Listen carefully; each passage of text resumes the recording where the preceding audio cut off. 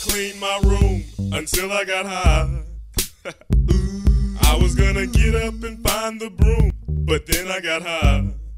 Uh, my room is still messed up, and I know why. Why, man? Yeah, hey, cause I got high.